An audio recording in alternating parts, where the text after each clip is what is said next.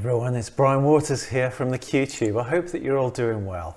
I just wanted to send a quick message because we're coming up very fast to the date of the Strings for Ukraine performance, which has been prepared uh, by some students and ex-students of the Royal College of Music to raise funds for Ukraine.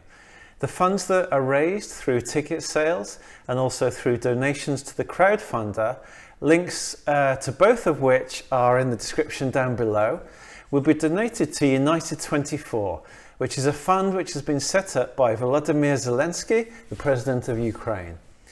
It should be a wonderful evening in store. It will be pieces of original music composed by those students and ex-students of the Royal College of Music, performed by the Morassi Quartet, a very talented string quartet. And I'm sure it'll be absolutely lovely. In addition to the live music, we'll also be sharing with the audience uh, some special pieces of music and poetry which have been provided to us by artists from Ukraine some of which are personal friends of mine from the time that I spent living and working there over the course of 12 years.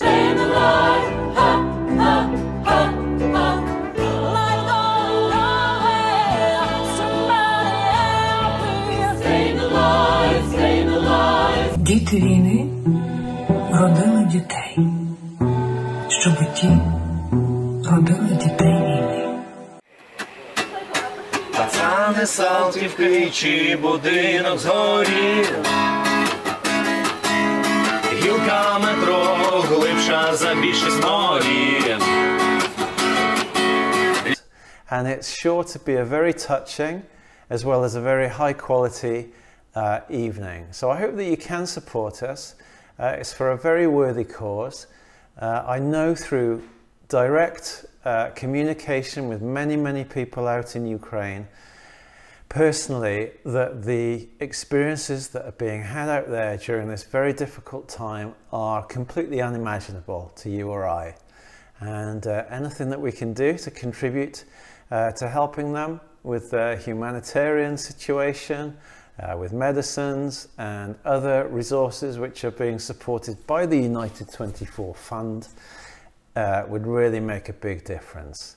So thanks for listening. I hope that those of you that do attend on the 7th will have a wonderful evening. I want to thank you for your support and I want to thank anybody who's also able to donate to our uh, crowdfunder. Great, huge respect and thanks to those students from the Royal College of Music, especially Lars and Alessandro for preparing this. Um, and uh, yeah, I look forward to seeing it. So take care, everyone. Thanks for listening. Have a great day. Bye for now.